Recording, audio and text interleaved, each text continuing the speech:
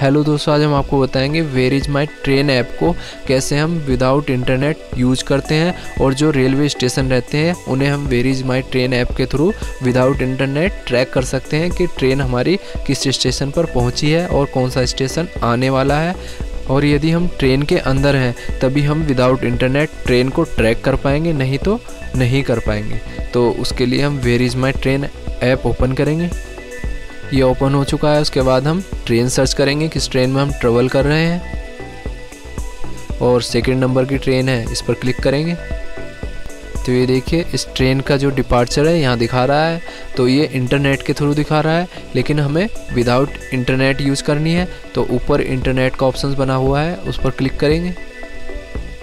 और यहाँ पर सबसे ऊपर दिखा रहा है सेल टावर इसे हम सिलेक्ट कर लेंगे।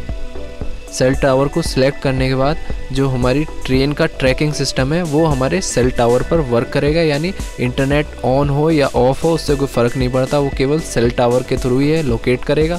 तो जब हम इसे सिलेक्ट कर लेंगे तो हम ऑटोमेटिकली ही उस मोड में कन्वर्ट हो जाएगा। यदि हम ट्रेन के अंदर हैं तो ये ऑटोमेटिकली ही ट्रेन को ट्रैक करने लग जाएगा। तो इस प्रकार हम विदाउट इंटरनेट भी where is my train app पर ट्रेन को ट्रैक कर सकते हैं या स्टेशन ट्रैक कर सकते हैं।